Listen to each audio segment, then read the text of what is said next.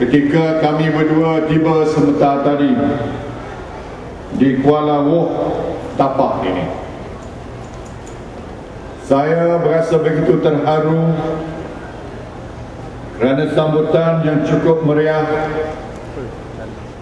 Apatah lagi bila saya melihat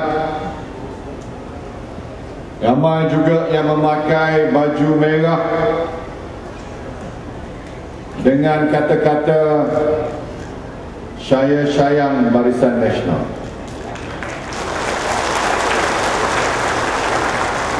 Saya tanya siapa bagi baju merah ni?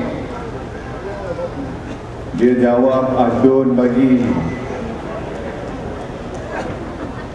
Ada seorang tadi bila saya salam dia kata saya sayang pada Datuk Seri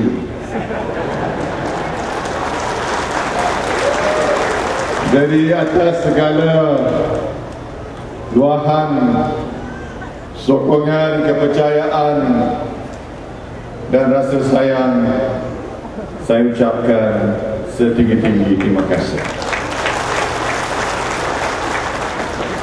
Tuan-tuan dan puan-puan sekalian, majlis ini juga berangkali mencatat sejarah. Tentu sekali sejarah bagi saya kerana berangkali inilah perhimpunan orang asli yang terbesar yang pernah saya hadiri selama ini. Orang asli yang datang dari segenap rusuk ceruk negara kita dan saya dapat sahkan kerana bila saya tanya tadi ada orang asli yang datang dari Jelebu ada orang asli yang datang dari Pekan sebab saya kenal mereka. Jadi terima kasih pada semua yang datang terutama sekali yang datang dari jauh untuk memeriahkan perhimpunan kita yang bersejarah pada hari ini yang menteraskan enam perkara utama. Pembangunan modal insan Perluasan akses prasarana. Peningkatan kualiti hidup. Pembangunan ekonomi berdaya saing. Memperkasa budaya dan pengetahuan tradisional orang asli. Serta takbir urus yang telus dan efisien. Berdasarkan pada kumpulan SASA Seramai 180 ribu orang asli Maka plan strategik ini Akan kita gerakkan Dan kita akan laksanakan Dengan sebaik-baiknya. Kepada semua jabatan agensi kementerian yang terlibat. Maka laksanakanlah plan ini dengan penuh komitmen. Dakaplah aspirasi masyarakat orang asli sepenuhnya supaya mereka dapat pembelaan yang lebih baik daripada kerajaan. Walaupun dalam pantun yang telah disebutkan oleh batin sahar tadi masyarakat orang asli tidak terkilan kerana mereka tidak pernah terhinggir namun saya ingin melihat bahawa kemajuan orang asli ini yang dirasai oleh masyarakat orang asli ini dapat bukan saja ditingkatkan tapi dilonjakkan lagi. Supaya masyarakat orang asli kemajuan yang mereka capai itu lebih besar lebih jauh ke hadapan kerana kita ingin melihat masyarakat orang asli diintegratekan sepenuhnya ataupun dimasukkan dalam arus perdana kemajuan negara. Apa saja yang orang lain dapat seperti mana kata Datuk Sri Zamri sebentar tadi orang asli pun mesti dapat yang sama dengan orang lain. Oleh itu apabila saya telah menyatakan dakaplah aspirasi masyarakat orang asli. Bila saya katakan pembangunan dalam negara kita di bawah kerajaan barisan mestilah bersifat menyeluruh merangkumi semua secara inklusif maka apa yang dihasratkan oleh masyarakat asli perlu diberi perhatian dan laksanakan sepenuhnya. Sehubungan dengan ini salah satu perkara yang saya rasa begitu baik. Perkara ini yang telah dicapai oleh kerajaan negeri Perak yang dibawa oleh Yang Amat Berhormat Datuk Seri Dr. Zamri kepengetahuan saya ialah bahawa dari segi kawasan untuk perkampungan orang asli dan kawasan pertanian untuk masyarakat orang asli di negeri Perak ini sudah pun hampir semua diselesaikan pewartawan pewartaannya oleh kerajaan negeri Perak. Mana sudah pun diwartakan. Hampir semua kawasan untuk orang asli. Tahniah saya ucapkan kepada kerajaan negeri Perak. Mudah-mudahan kita akan laksanakan juga di tempat-tempat di negeri-negeri yang lain sepenuhnya. Yang saya dipahamkan proses ini sedang diambil tindakan oleh kerajaan negeri masing saya juga ingin menyatakan bahawa salah satu daripada keperluan untuk orang asli semestinya rumah-rumah yang lebih baik dibina oleh kerajaan. Sehubungan dengan ini, melalui Kementerian Pembangunan Luar Bandar, tahun ini sebanyak 66.6 juta diperuntukkan untuk pelaksanaan projek yang di bawah program bantuan rumah sama ada rumah baru dibina ataupun dibaik pulih. Kerajaan akan bina 190 unit rumah baru dan 82 820 unit rumah yang dibaik pulih di seluruh perkampungan orang asli. Pada tahun ini juga di bawah strategi lautan biru antara Kementerian Luar Bandar dan Angkatan Tentera Malaysia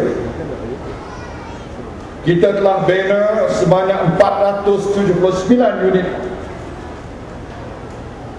rumah baru di seluruh penempatan orang asli dan untuk tahun ini saja Datuk Seri Zahid beritahu saya sebentar tadi 87 buah rumah baru akan dibina dan 52 rumah tersebut telah siap dibina yang baki itu sedang dibina oleh pasukan Angkatan Tentera Malaysia. Tuan-tuan dan puan-puan sekalian, kita juga membangunkan di negeri Perak ini saja 6,042 hektar untuk orang asli dengan tanaman getah dan kelapa sawit memberi manfaat pada 2,536 orang peserta orang asli. Tuan-tuan dan puan-puan sekalian, salah satu daripada perkara yang amat penting ialah dalam bidang pendidikan. Kalau masyarakat orang asli kita nak masukkan dalam arus pembangunan perdana negara nescayalah menuntut pada masyarakat orang asli mengubah sikap mereka terhadap penguasaan ilmu Sehubungan dengan ini kita akan terus memperjuangkan hasrat untuk membangunkan lebih banyak sekolah-sekolah untuk masyarakat orang asli. Kita juga ingin melihat kadar keciciran yang pada masa ini agak tinggi. 29% kadar keciciran di peringkat sekolah rendah jumlah ini mesti kita kurangkan kepada tahap yang lebih rendah lagi. Saya amat berharap sekolah daripada bangku sekolah. Walaupun pada musim buah, walaupun nak mengguru tupai ke apa pun, tolong jangan heret anak-anak tuan-tuan perempuan daripada menuntut pelajaran di sekolah. Kerana kita nak anak orang asli menjadi doktor jurutera peguam pemimpin politik pentadbir dan sebagainya dia mesti bermula daripada mereka berjaya dalam bidang pendidikan jadi orang asli pun budaya orang asli mesti berubah yang tradisi itu mesti kekal. Tradisi bersewang tu mesti kekal. Sebab kita pun seronok juga tengok masyarakat orang asli bersewang macam tadi. Saya sekali-sekali imbas saya kata pada isteri saya macam orang Maori di Kuala di New Zealand tengok-tengok. Seni budaya orang asli itu sudah pun kita terima. Kalau ada majlis meraihkan tetamu daripada luar negara ketua-ketua negara pun. Kita persembahkan tarian sewang orang asli. Maknanya kita bangga dengan budaya orang asli. Tapi hak bab boleh berubah tu kena berubah juga. Yang saya sebut tadi hak nak sewang-sewang pun tak apa. Nak sewang sampai pagi sewang tapi jangan bawa keluar anak-anak daripada sekolah itu saja saya minta pada tuan-tuan boleh tak? Kita ada satu program khas untuk orang asli. Sayangnya saya pada orang asli Saya kata kalau pada 1MDB Kalau apa-apa program jangan tinggalkan orang asli kita. Jadi kita gubal satu program khas Diberi nama Jalinan Murni di mana setakat ini kita dah menyampaikan sumbangan pakaian seragam kepada anak-anak orang asli. Dua pasang baju sekolah dua pasang kasut dan seratus ringgit kita bagi. tujuh ribu seratus lima puluh dua anak orang asli dah lima termasuk beg sekolah beg sekolah ni untuk pergi ke sekolah bukan untuk memburu tupai. Dan kita bagi juga sumbangan pada ketua isi rumah. 10,229 dapat bantuan makanan dengan juga vitamin ataupun vitamin kita bagi supaya orang asli lebih sehat lebih kuat lagi dan juga sumbangan cermin mata. Hak mana orang asli tak berapa nampak mata tu kita bagi cermin mata. Terang nampak mata dia. Supaya bila dia nak pangkah kereta suni tadi terang dia nampak ni dia nampak dacim terang dia. jadi ini semua nilainya 15 juta kita bagi untuk masyarakat orang. Dan saya minta ni Datuk Samsul ni kebetulan orang Sungai Siput Dr. Samsul dia kerja dengan Yayasan 1MDB saya suruh dia pergi pada semua kampung orang asli bagi bantuan kepada masyarakat orang asli. Jadi tuan-tuan dan puan-puan sediang Akhirnya saya nak sebut Ada lagi permohonan 30 juta dia minta Saya ingat dah habis dah semua Ada lagi minta 30 juta.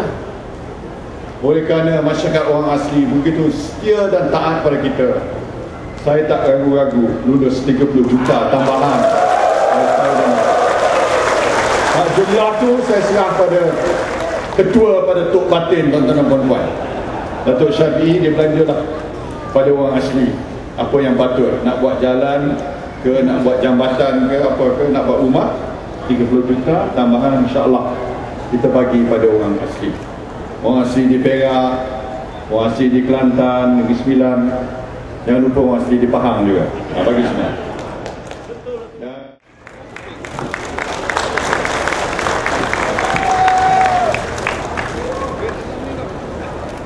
Seterusnya dipersilakan Batik Ismail bin Bala